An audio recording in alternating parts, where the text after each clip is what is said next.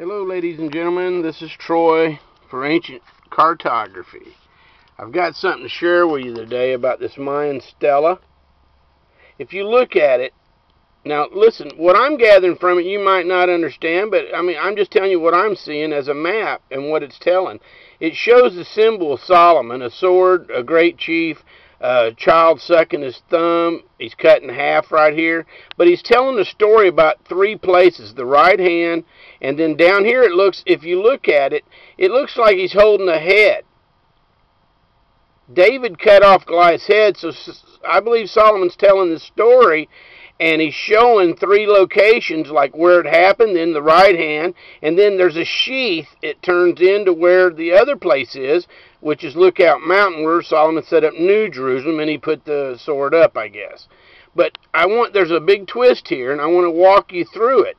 I'd like to show you an aerial of the place they're talking about where this happened with the head. Uh, on the side of this stela there are marks and you might not can see them here but i'm going to just lay it out and when we get online or something, or you can look at it. There's some marks right here. And then there's a line that goes down right here and then comes over and then goes up. And then I'll show you these two areas where the legs are. And it goes up to the second thumb and goes up to the right hand where the door is. And then there's an aerial of a face like this one with a headdress. Okay, and then even at the door, I'm going to show you that. So let me go ahead and show you the, the aerial here, what we're talking about. Okay, here's the marks, the details. Okay, and there were more of them, but the, the dam kind of made the river a little wide there. So there's the marks.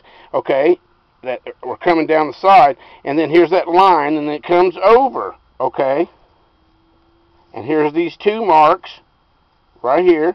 It goes up to where he's sucking his thumb and right to the door. Now look at the door. What do you see?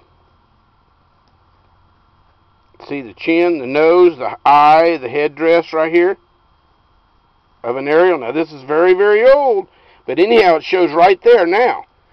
With that in mind, when you go to the door, let me click that one.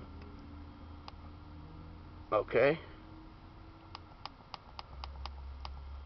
There's the a mark Okay, there's the, the guy right there's nose and face with a headdress, and there's a mark right here behind him. And then there's a rectangular of marks and numbers, and you see them right there.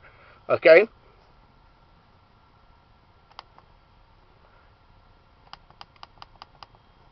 We have it marked on the stela. There's the marks. There's the chief's head and dress, and there's the mark right there. Same thing. Okay, now there's a twist to this and you're going to love this if this camera hold out because it stops on me. Now watch, I want to lay this out real quick and show you something. Okay? Here's two aerials. Now, look, here's the aerial of Troy, the ruins of Troy. See this Y upside down? And then look, it looks like a D with a line. And then uh, here's these marks up here, and it looks like they have a fake river with no water, but there's the marks, right?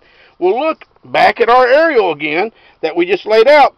There's the Y upside down. There's the D in the line. And there's the marks. And there's the river. Now, just in the last minute or two, telling you about some of these details, I have a lot of maps that point out this aerial of this temple. Okay? It's telling me that the ruin of, ruins of Troy are a reenactment and they couldn't come back across to here, so they used the channel over there and made a reenactment. This one holds the temple and the and the, the details of it. So now you've heard it first right here on Ancient Cartography Channel. This is Troy. Have a nice day.